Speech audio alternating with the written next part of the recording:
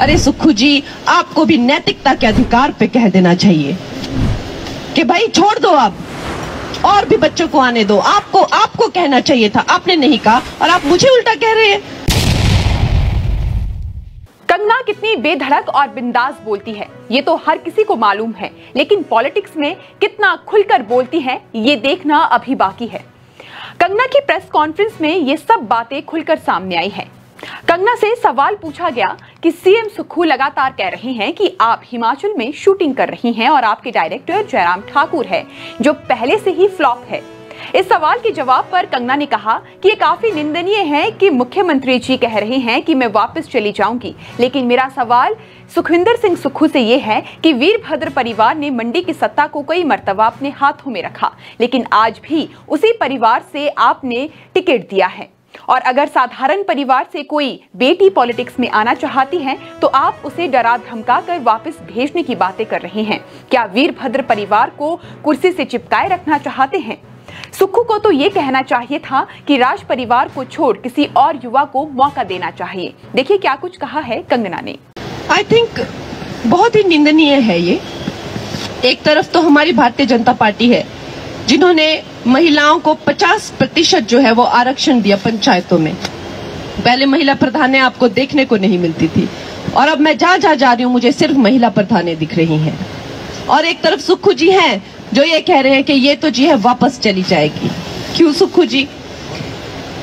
मैं उनसे ये पूछना चाहती हूँ कि विक्रमादित्य के परिवार से जो है, छह बार चीफ मिनिस्टर रह चुके हैं। आठ बार मेंबर ऑफ़ पार्लियामेंट, आठ बार मतलब 40 साल से ज़्यादा अरसा मतलब कि जब मैं पैदा भी नहीं हुई थी मतलब जब मेरे मम्मी पापा की शादी भी नहीं हुई थी, तब से मेंबर ऑफ़ पार्लियामेंट रह रहे हैं। एक जनरेशन के जनरेशन आ गए हैं जो भी खुद बूढ़े हो रहे हैं। लेकिन क्या ये लोग कुर्सी से चिपक गए हैं?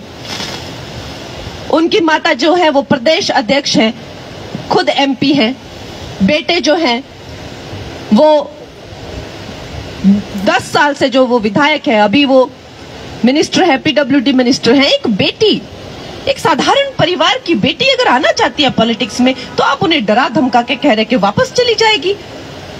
क्या तरीका है ये? क्या मतलब इन्हीं इन्हीं लोगों ने क्या चिपक जाना है क्या कुर्सी से? और कोई आ ही नहीं सकता क्या?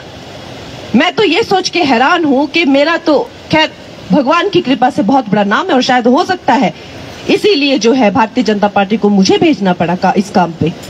कैसे कोई आम साधारण लोग कैसे आएँगे? इनकी पावर और इनके पैसे और इनका जितना इन्होंने एक पूरा एक सिंडिकेट बना लिया है, कैसे वो पेनिट्रेट करेंगे? क्या हमारे हिमाचल में और कोई योग्य युवा रहे ही नहीं है? ये परिवार चिपकी गया है क्या कुर्सी से?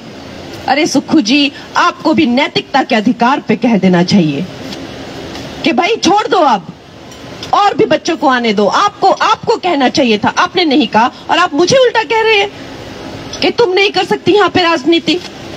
ये महिला विरोधी सोच जो है, वो कांग्रेस के पतन का कारण है, ये महिला विरोधी सोच।